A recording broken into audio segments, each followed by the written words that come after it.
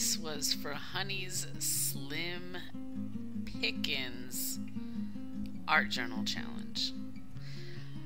My honey was my seven year old daughter. My husband was not available, so she picked out five items. And um, I was happy with the stencil. I thought that was a good idea. The compass I liked. Then there were the metallic crayons, blue ballpoint, and a found partial acorn shell. So the acorn shell was the inspiration for the entire thing. I love art that has found objects in it. And then natural found objects on top of it to me is like double treasure.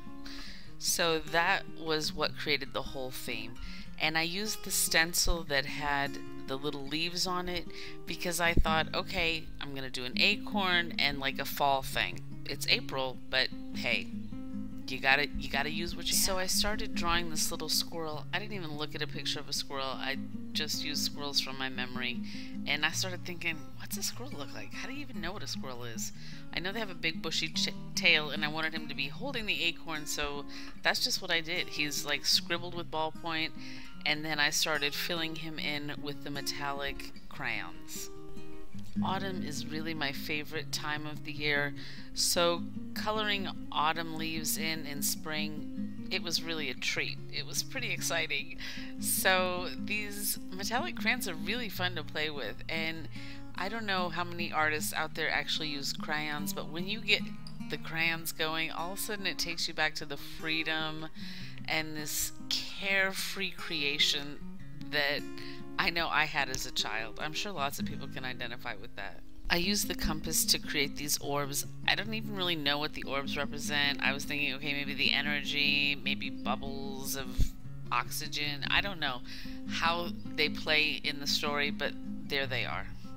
I went a little rogue at this point because I had nothing to attach my acorn with. So this is number six item. I don't know, cheating, not cheating, you be the judge. I'm sure you will. But um, I had to attach my acorn somehow. I wasn't going to use spit and bubble gum. You know, that could be an option. Six and seven, spit and bubble gum. Ballpoint wouldn't write over the pen for my autograph, so I've used the compass pencil to sign it. And here is my finished product. It was such a fun challenge, and I would never in 5 million years have created this if it hadn't been for these items that my daughter selected and to Ali for creating this challenge. So it's a lot of fun. So if you like videos like this, hit the subscribe button with the bell and you can see more of them. And check out Ali's challenge. I'll put that in the link below. Have a great day.